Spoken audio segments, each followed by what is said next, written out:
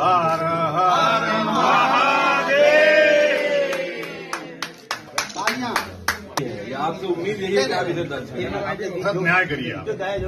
आप दर्ज कर लीजिए आप जाँच कीजिए उसके बाद जो समझ में दर्ज करके जाँच। दर्ज करिए। लेकिन दर्ज होने के बाद आपकी ओर से ये संदेश जाना चाहिए कि आप बायस्ड नहीं है। हाँ। आप क्या कर रहे हो इधर?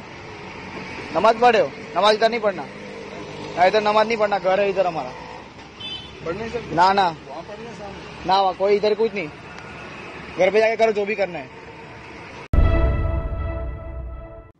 अभी एक वीडियो दिखाने जा रही हूँ। ये वीडियो आपको बताएगी कि माइनॉरिटीज के लिए इंसाफ के मायने इस मुल्क में क्या हो चले हैं। आप माइनॉरिटीज के कत्लेआम की कॉल दीजिए। उनके खिलाफ हथियार उठाने की बात कहिए। दिन रात यही करिए। तीन दिन तक धर्म संसद जो है वो हरिद्वार में चलती रही। उसके बाद रायपुर में ये धर्म संसद होती है छत्तीसगढ़ के। और उसके बाद जब इन लोगों के खिलाफ एफआईआर दर्ज होती है तो कोई गिरफ्तारी नहीं की जाती है। खुले तौर पर इसी तरह से लोग घूमते रहते हैं। फिर ये लोग बाकायदा तौर पर एक और मीटिंग करते हैं और इस मीटिंग में ये कहते हैं कि ऐसी धर्म संसदें जो हैं, वो पूरे मुल्क में की जाएँगी। जो हमने वहाँ पर प्रण लिया है, उसको पूरे देश तक पहुँचाया जाएगा। तो आगे आने वाले दिनों में आपको इस तरह की और धर्म संसदें जो है, वो देखने के लिए मिल सकती हैं। और इन लोगों के हौसले किस तरह से बुलंद हैं, इन लोगों को कोई किसी तरह से कानून का, पुलिस का कोई डर क्यों नहीं है, और किस तरह से इन लोगों को सत्ता का संरक्षण जो है वो प्राप्त है। ये जो अभी वीडियो में आपको दिखाने जा रही हूँ, ये आपको बताएगी। इस वीडियो में लगते हुए ठहाके उस इंसाफ के ऊपर ठहाके लग रहे हैं, जिसकी उम्मीद आप लगाए बैठे हैं।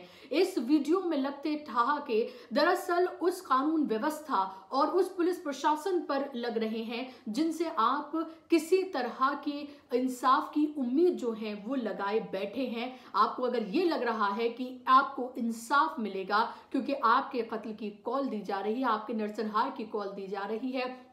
आपके त्योहारों को टारगेट किया जा रहा है। आपकी जो इबादत है, उसको टारगेट किया जा रहा है। आपको अलग अलग जगहों पर, सिर्फ़ आपके मज़हब के नाम पर आपको लिंच किया जा रहा है। आप ये वीडियो देखिए और फिर इससे आपको अंदाज़ा लग जाएगा कि इंसाफ के मायने अब क्या हो चले हैं।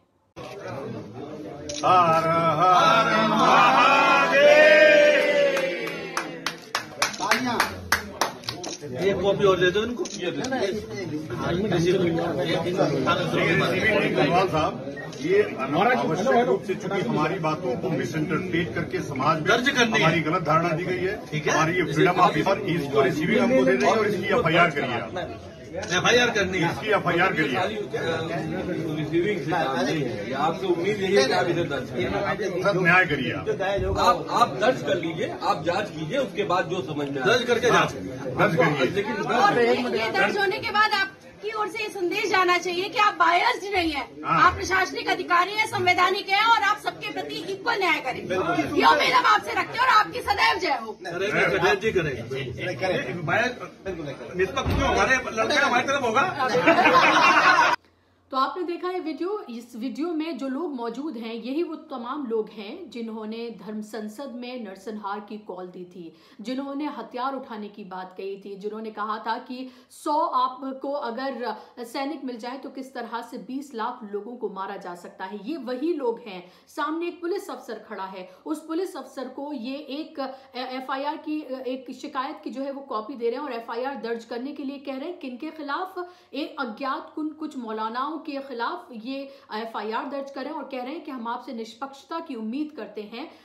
और फिर उसके बाद वहाँ पर खड़ा यति नरसिंह सरस्वती जो है वो ये कहता है कि निष्पक्षता क्यों? हमारा लड़का है, हमारी बात जो है वो करेगा। और उसके बाद एक ज़ोर से ठहाका वहाँ पर लगता है। अब आप ये देखिए कि ये देश जो है इन सात सालों में कहाँ आकर खड़ा है। जिन लोगों को सलाखों के पीछे होना चाहिए था। जिन लोगों के ऊपर दरअसल रासू का जिन लोगों के ऊपर दरअसल सिटिशन के चार्जेस होने चाहिए थे क्योंकि ये अपने ही देश के नागरिकों के के कत्लेआम की बात कर रहे हैं अपने ही देश की जो माइनॉरिटीज हैं उनके खिलाफ हथियार उठाने की बात कर रहे हैं खुले मंच से और वो लोग देखिए किस तरह से बहादुरी से वहाँ पर खड़े रहते हैं क्योंकि उन, उन्हें उम्मीद ही नहीं बल्कि उनको यकीन है कि उनके खिलाफ कोई कार्रवाई नहीं की जाएगी। खानापूर्ति के लिए एफआईआर दर्ज होगी, लेकिन कोई गिरफ्तारी नहीं की जाएगी। और हो सकता है कि बहुत अगर कुछ देखने को मिले तो हो सकता है किसी एक आध की कोई गिरफ्तारी हो जाए चंद दिनों के बाद उनको छोड़ भी दिया जाएगा। लेकिन आप ये देखिए कि अगर आप मुसलमान हैं तो किस तरह से आप अगर बेगुनाह भी हैं तो कैसे आपको सालों जेल में सड़ना पड़ सकता है? किस तरह से आपके जो हुकूक हैं, उनको दिन रात दबाया जा रहा है, दिन रात उन्हें कुचला जा रहा है? एक और वीडियो मैं आपको दिखाने जा रही हूँ और इस, ये वीडियो अगर आप इंसानी, इंसान हैं, अगर आप में एक ज़िंदा धड़कता दिल है, अगर आप इंसानियत पर अभी भी यकीन रखते हैं, आप भाईचारे पर यकीन रखते हैं, अभी भी आप उतने जानवर नहीं हुए हैं जितना आपको धर्म के नाम पर बनाने की कोशिश जो है वो की जा रही है तो आपका दिल हज़ार टुकड़ों में टूट जाएगा इस वीडियो को देखकर और उस दाढ़ी वाले शख्स की मासूमियत देखकर कि किस तरह से वो बेचारा लाचार ब्यारो मददगार वहाँ पर खड़ा है। और किस तरह से एक एक शख्स जो है सिर्फ़ इसलिए कि वो नमाज़ वहाँ अदा करना चाह रहा था किस तरह से उसको ये महसूस करा रहा है कि ये मुल्क जितना मेरा है उतना तुम्हारा बिल्कुल नहीं है। क्या कर रहे हो इधर? नमाज़ पढ़े हो? नमाज़ इधर नहीं पढ़ना। इधर नमाज़ नहीं पढ़ना घर है इधर हमारा। पढ़ने ना ना। वहाँ पढ़ने सामने ना वहाँ कोई इधर कुछ नहीं। घर पे जाके करो जो भी करना है। हो जाएगा। ना ना कुछ नहीं। वो हम लोग क्या जाने। इधर नहीं इधर घर का है इधर इधर नमाज़ वमाज नहीं चलेगा। सामने भी नहीं। सब लोग इधर से भगाएँगे आप सामने जाओगे आपका टाइम खराब होगा। सोचा घर जाके करो जो भी करना है।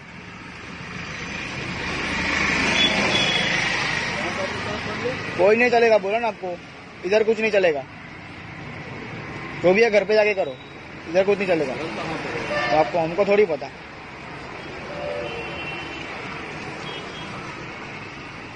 ये पब्लिक एरिया है। ये पब्लिक एरिया है। तो फिर गंदा काम थोड़ी कर रहे हैं तो फिर भी क्या हुआ? इधर हमारा घर है इधर नहीं। तो तो मेरे घर पे सामने मेरे को मेरे को ही पूछ के पूछे भी ना आप इधर ऐसे बात रहे हो क्या है ये? मेरे को पूछे भी ना आप ऐसे मेरे घर के सामने ऐसे नमाज़ पढ़ने लगे क्या है ये? आपसे पूछा नहीं हाँ? आपसे नीचे तो आपसे ऐसे बिछा दिया ना। ये तो आपने ऐसे ही बिछा दिया ना। वो तो मैंने आपके अपने मेरे को पूछा कभी पूछा? वो तो मैंने सामने से बताया पूछा इसीलिए आपने बोला। हाँ। ये हमारा घर है इधर आपको किसको पूछ के इधर नम- नमाज़ पढ़े आप इधर? आपसे तो पूछा नमाज़ पढ़ने के लिए मैंने किसने पूछा? किसने पूछा? ये तो सब आपने ऐसे ही मांगा कि इसे मुँह धोना है। तो नमाज़ पढ़ने के लिए अरे ठीक है अभी क्या है आपको? इधर नहीं पढ़ने का नमाज़ जाओ। हाँ।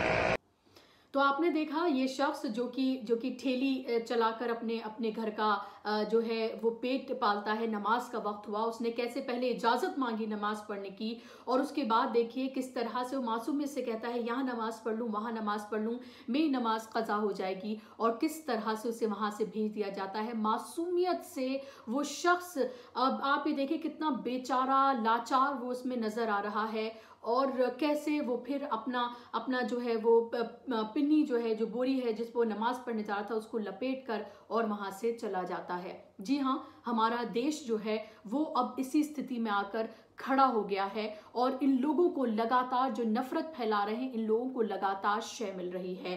क्रिसमस नहीं मनाने देंगे, नमाज़ नहीं अदा करने देंगे, लगातार नफरत इसी तरह से फैलाएँगे। अगर खुले मंचों से, अगर एक देश का सबसे बड़ा, सबसे बड़े राज्य का जो मुख्यमंत्री है, वो अगर ये कहे कि अयोध्या के लिए कहे कि मंदिर बना आपको खुशी है कि नहीं लोग तालियाँ बजाते हैं। फिर कहे मथुरा और काशी की आ, में भी वहाँ पर इसी तरह से भव्य मंदिर जो है बनाया जाएगा। अगर इस तरह की बातें खुले मंचों से की जाएँगी इस तरह से देश के सबसे बड़े राज्य का मुख्यमंत्री अगर इस तरह की बातें कहेगा उप मुख्यमंत्री अगर कहेगा कि अब मथुरा की बारी है और इस तरह से सांप्रदायिकता फैलाई जाएगी तो आप ये अंदाज़ा लगाइए कि इन तमाम लोगों को क्यों ना बल मिले और क्यों ना वो इस तरह की हरकतें करें।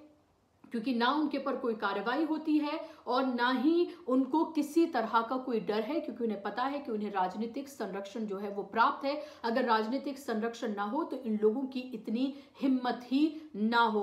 और हर रोज नए कीर्तिमान गढ़ रहे हैं लोग, और हर रोज देश जो है, देश के वो लोग जो अभी भी हमारा जो सेकुलर संविधान है, उसमें यकीन रखते हैं, जो लोकतंत्र में यकीन रखते हैं, जो अनेकता की एक, अनेकता में एकता के लिए जो हमारा देश जाना जाता है, उसमें यकीन रखते हैं, वो लोग सवाल पूछ रहे हैं कि आखिर और कितनी गिरावट देखने के लिए मिलेगी।